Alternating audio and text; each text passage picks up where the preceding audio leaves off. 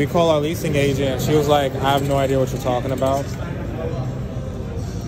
It was approved by the leasing office, but she specifically had no idea.